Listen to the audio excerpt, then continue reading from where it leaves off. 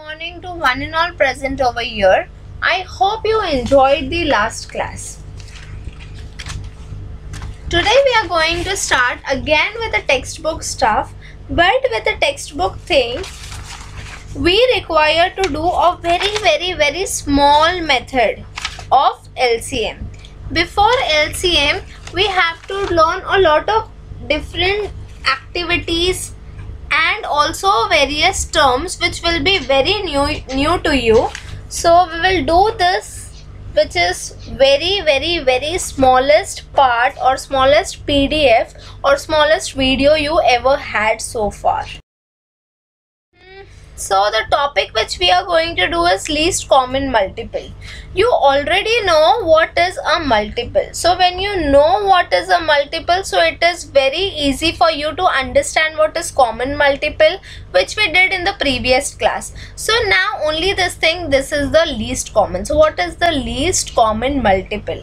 Least common multiple is that the least common multiple of the given numbers is the smallest number which is divisible by each of the given number.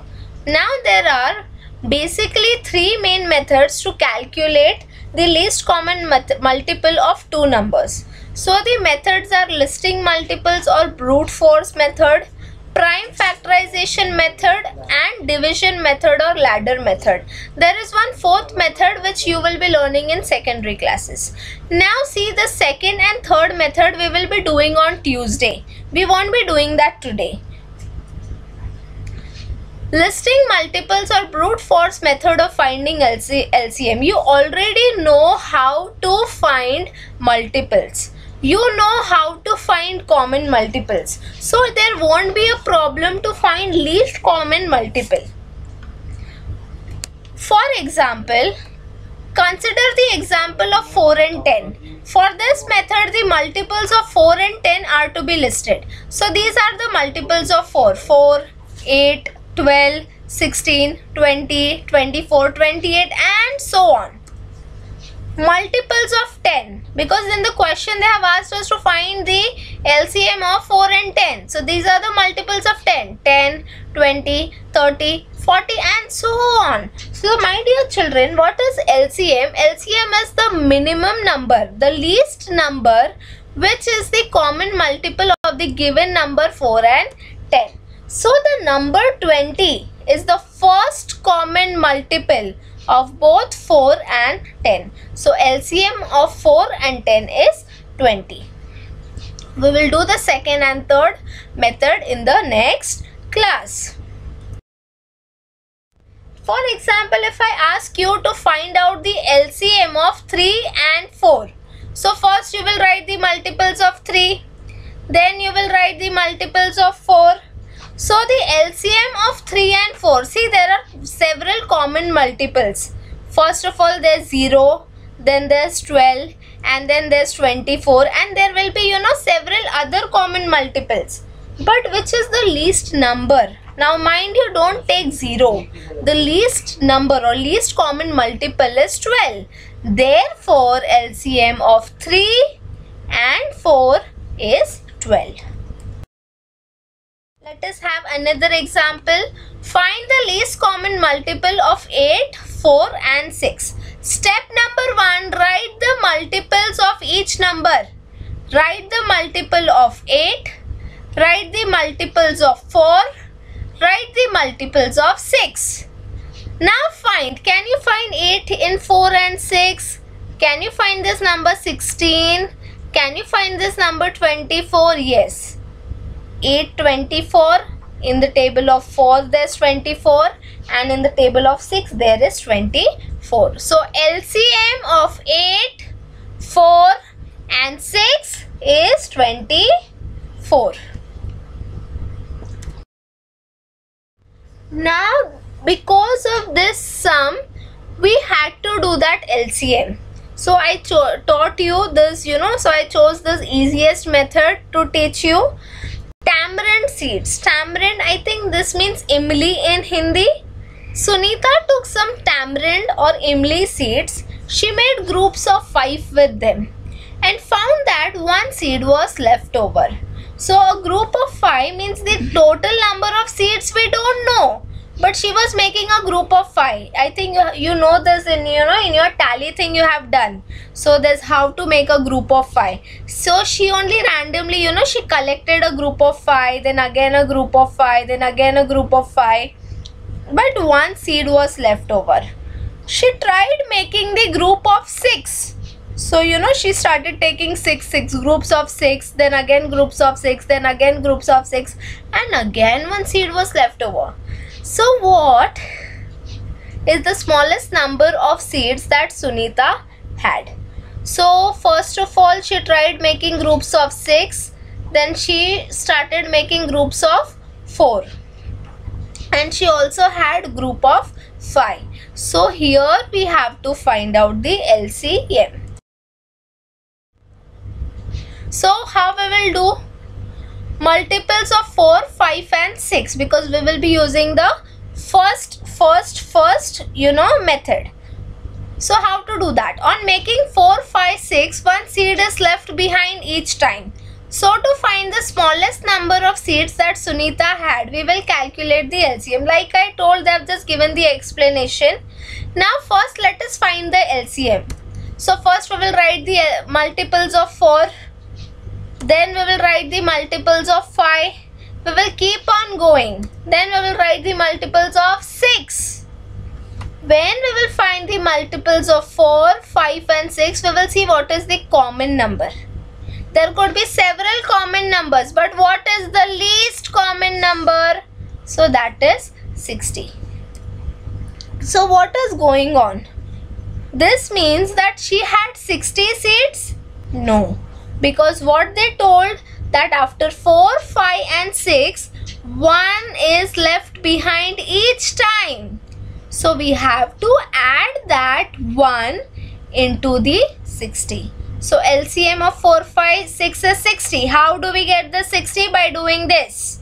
By solving by this method and adding 1 to it we get 60 plus 1 that is 61 so the smallest number of seeds which Sunita has is 60 plus 1 61 seeds. This is the first method of solving LCM you already know how to find the multiples.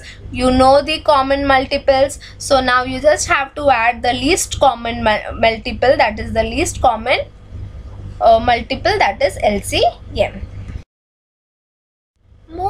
tamarind seeds.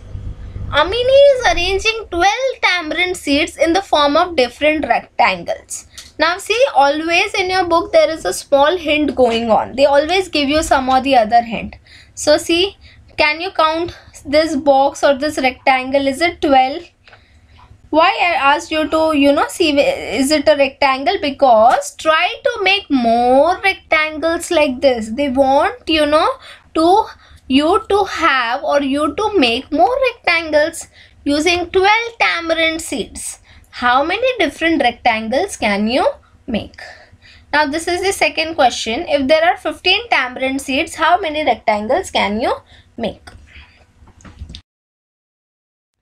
When 12 tamarind seeds, you know, we have rectangles of sizes. Now you will have to arrange this. 12 into 1 4 into 3 this is this part. 6 into 2 this is this part.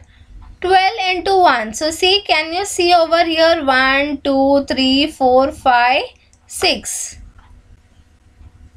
there should be 1 2 3 4 5 6 another one here. If there are 15 tamarind seeds how many rectangles can you make if there are 15 tamarind seeds, then we have rectangles of sizes 1 into 15. So, you know, 1 is arranged horizontally. 3 into 5, 15. So, we can make 2 rectangles from 15 seeds. Can you think of something else? In short, they are also finding out, you know, they are teaching you how to find factors, which we will be learning it in, you know, on Tuesday. Now, how to make the rectangles? Now, you'll have to turn, you know, open your textbook for this. Yes. so you have to turn to page number 93 and please read the questions in the grid here a rectangle made of 20 boxes is drawn so you know this is the question the width of this rectangle is 2 box means which was given in the diagram that is 2 box now this is the question these are the questions that you have to read while alongside we can solve the you know problem so what is the first question? What is its length? The length of the rectangle is 10 boxes. So you know this uh, actually gives you the base which you have done in the chapter number how many squares. So if you will count the length of the rectangle is 10. So if you can count see 1, 2, 3, 4, 5, 6, 7, 8, 9 and 10.